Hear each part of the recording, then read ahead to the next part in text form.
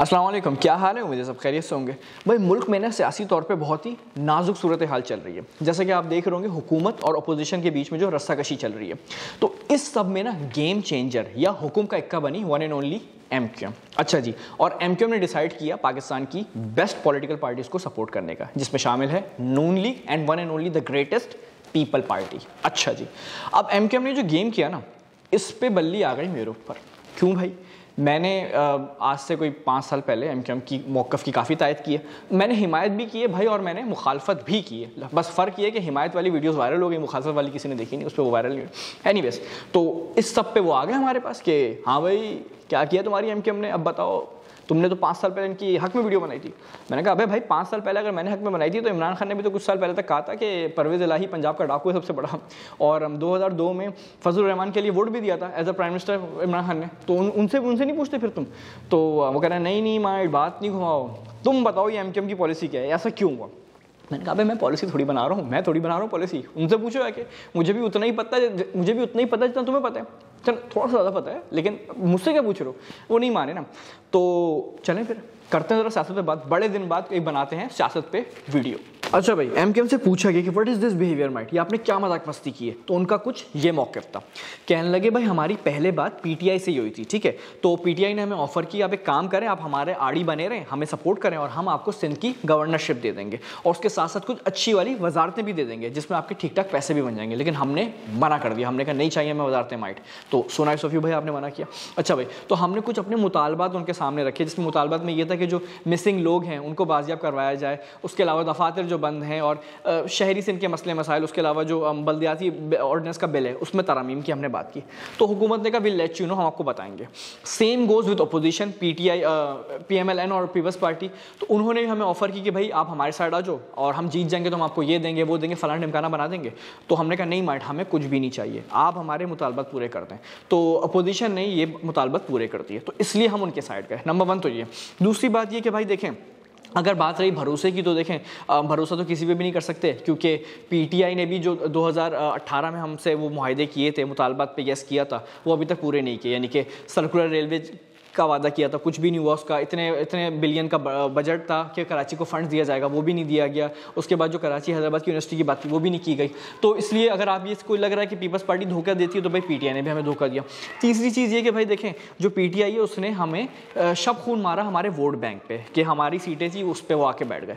तो इस वजह से हमने सोचा कि भाई ग्रेटेस्ट पार्टीज़ को हम सपोर्ट करें पीपल्स पार्टी नून लीग को हम सपोर्ट करते हैं। ये एम का मौका था। ठीक है।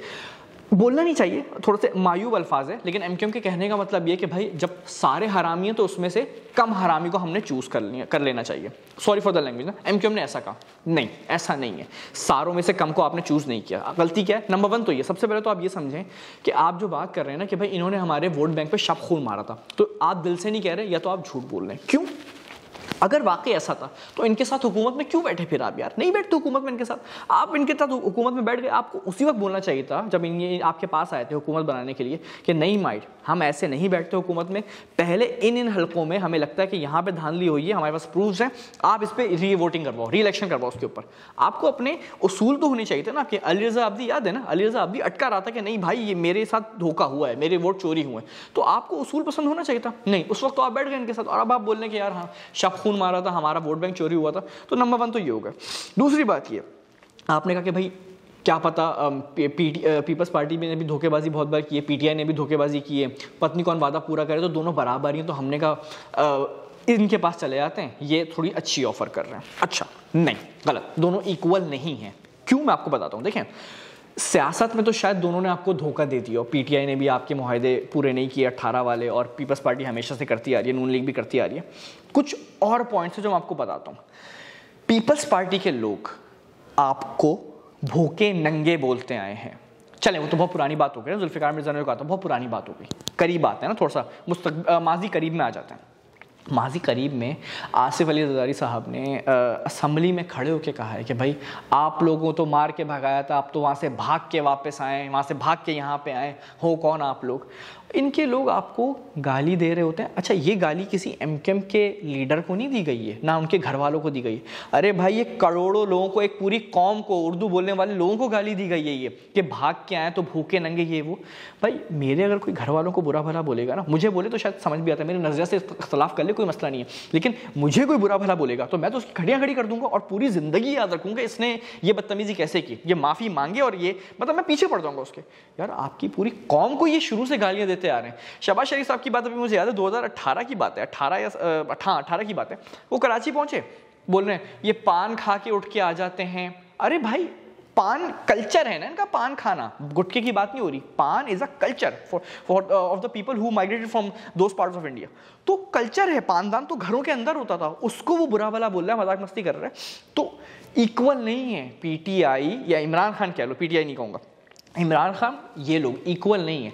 इमरान खान सियासी इख्तलाफा तो कर सकता है, लेकिन इस हद तक नहीं जाता जिस हद तक पे ये लोग ये लोग चले जाते हैं। तो इसलिए इक्वल नहीं है, ये बात आपको समझनी होगी। दूसरी चीज़, ये तो मैंने ऊपर ऊपर की बातें कर ली थ्योरी की थ्योरेटिकल बातें जो है ना। भाई, अब आते हैं ग्राउंड पे क्या हो रहा है? सबसे बड़े बदतरीन ऑपरेशन जो कराची के लोगों के ऊपर हुए हैं, जिसमें हज़ारों नौजवान आपके जान से गए ठीक है? कितने लोग मुल्क से बाहर चले गए जिला वतन हो गए कितनों की लाशें नहीं मिली वो सब किसने करवाए थे? वो इन्हीं लो, दोनों लोगों के पीपल्स पार्टी और नून लीग के दौर में ही हुए थे। तो आप उनके साथ कैसे बैठ सकते हैं? चलें वो सब भी छोड़ें भूल गए हम ना। वो तो भाई दूसरी एम क्यों थी हम न्यू एम क्यों हैं यार अभी दो महीने पहले की तो बात है आपने एहतजाज किया था सी एम हाउस के सामने क्या किया इन्होंने? पुलिस को लेकर डंडे बरसवाना शुरू कर दिया आपकी औरतों के ऊपर डंडे बरसाए गए हैं। आपके वो शायद ना काउंसलर साहब थे जो जिनका इंतकाल हो गया। तो वो जख्मों की ताब ना लगे। आप पे तशद करवाया गया खुल्लम खुल्ला। इन्हीं लोगों ने करवाया था। तो क्या गारंटी है? गारंटी तो छोड़ दो। मतलब गारंटी तो छोड़ दो। तो भाई इनसे हाथ मिलाना कैसे वो सही है? इनसे बेहतर वो नहीं था। मैं, देखिए मैं ना इमरान खान का फ़ैन नहीं हूँ। I am not a fan not a supporter ठीक है? तो अगर किसी को ये बात लगे, किसी यूथिया को के सॉरी कोई अगर मुझे यूथिया के यार ये तो इमरान खान का सपोर्टर है, पैसे मिलने तो भाई मेरी पुरानी वीडियोस देखो आगे, ठीक है? उसमें ना भरी पड़ी हुई है यूथियों की गालियाँ। टिपिकल यूथी होते हैं, उनकी गालियाँ भरी पड़ी हुई हैं। और अभी भी बहुत सारे टिपिकल जो हैं, वो मुझसे खार खाते हैं। जो सच है, लेकिन जो सच है सच है। Imran Khan is much better than these people यार, इन्होंने हमेशा से, मैं मुल्क की तो बात ही नहीं कर रहा ना। मैं अभी एम की बात कर रहा हूँ। एम के कराची की बात कर रहे हैं। आपके ऊपर इन्होंने हमेशा से डंडे बरसवाए, गोलियाँ चलवाई और हमेशा आपको धोखा दिया। और भाई, उनका तो अपना खुला मौकफ है। वो खुल के कह रहे हैं जरदारी साहब ने तो खुल के कहा है भाई कि ये आइन और ये माहदे माहदे वाहदे ये कोई कुरान हदीस की चीज़ें नहीं है कि ये इनको, इनका पास रखा जाए। तो वो तो खुल के बोल रहे हैं। ये पीपल्स पार्टी की खासियत है वैसे कि भाई, वो खुल के बोलते हैं कि भाई, ऐसा है तो ऐसा ही जो खाड़ना उखाड़ लो।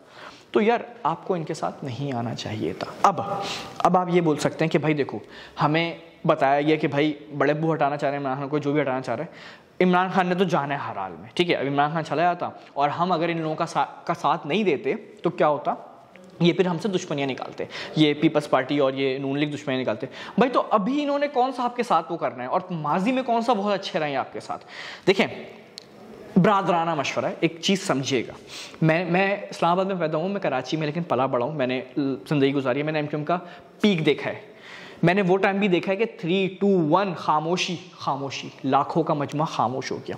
मैंने वो टाइम भी देखा कि पेंटीएम टू हमारे पास होता था, वो बंद नहीं होता था, उससे पहले शहर बंद होता था पूरा पूरा शहर बंद। ये होल्ड ना किसी का था, ना हो सकता है। मैंने वो टाइम भी देखा है कि मैंने जलसे अटेंड किए मैंने एम के जलसे अटेंड किए जिसमें मर्द हजरात यहाँ बैठे होते थे, ख़वातीन यहाँ पे, और बीच में ना सिर्फ़ एक रस्सी खींची हुई, डोरी बल्कि एक डोरी लगी हुई होती थी।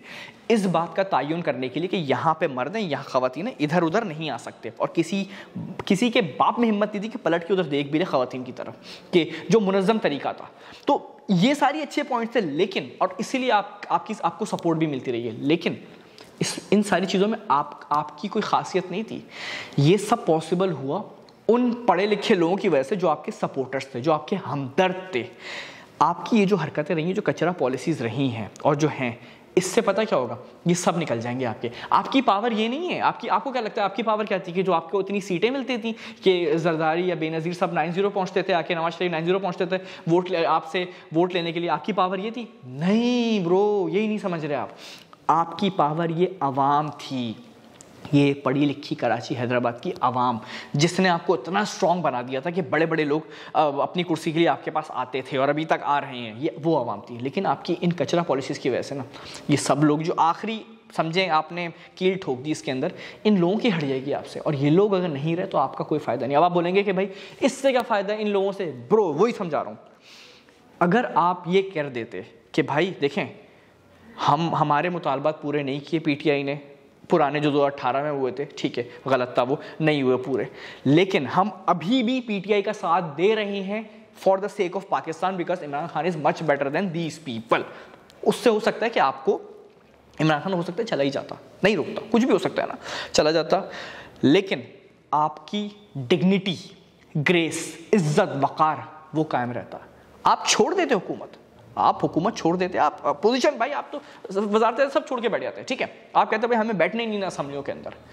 ये जो लोग हैं ना, ये आपको जितवाते आप एक भारी अक्सरियत से जीतते, अगर आप ये कर लेते, लेकिन आपने नहीं किया। तो आप इस बात को समझिएगा, मेरा पॉइंट समझिएगा, कि अगर आपको वापस अपना वो वकार चाहिए तो इस आवाम आवाम की इज़्ज़त रख लें कराची के लोगों की इज़्ज़त रख लें जो आपके सपोर्टर्स हैं, उनकी इज़्ज़त रख लें अभी भी वक्त है अभी भी वक्त है आज जुम्मे का दिन है, रमज़ान शुरू होने वाला है। अभी भी वक्त टाइम है। देखें सपोर्ट कर लें उसको। उसको सपोर्ट कर लें। He is much better than all those people ये एक पॉइंट था। बाकी सियासी इख्तलाफा बहुत सारी चीज़ें अलग हैं। इसको सपोर्ट करने से इमरान खान हो सकता है चला जाए। आपके सपोर्ट करने के बावजूद भी हो सकता चला जाए। लेकिन आपको ये शहर अपनी आँखों पे बिठा लेगा। ये शहर क्या हो सकता है? और लोग भी अपनी आँखों पे बिठा लें। तो एक ये बरदराना मशवरा था। बहुत लंबी हो गई। ये थी ऐसी कहानी। मेरा नाम है कुतैबा महमूद। अपना बहुत ख्याल रखिएगा, दुआ में रखिएगा। एक आखिरी चीज़ रह गई। अभी ना मैं बोलते बड़ा कप कपा रहा हूँ। कपका पता क्यों रहा हूँ?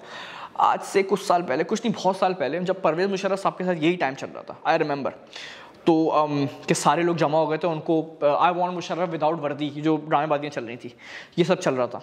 तो एक अंदर से ना बहुत ही मायूसी वाली फीलिंग आई हुई थी। I use to be big fan of Parvez Musharraf साहब ना मैं बहुत बड़ा फ़ैन रहा उनका।